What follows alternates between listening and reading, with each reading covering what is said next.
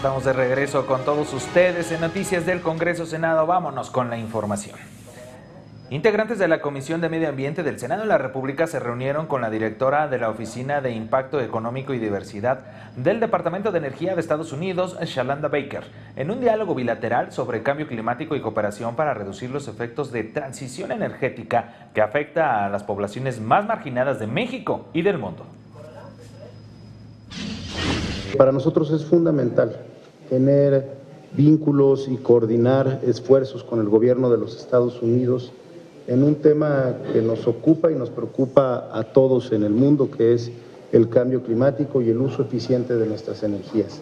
El Departamento de Energía de Estados Unidos pudiera apoyarnos para hacer prototipos de aprovechamiento de energía solar a bajo costo, particularmente para comunidades indígenas que se encuentran muy alejadas. La amenaza del cambio climático ya no es algo que va a venir, sino es algo con lo que ya vivimos. Y se vivió en el norte del país con eh, la sequía y las olas de calor extremo en Monterrey, por ejemplo.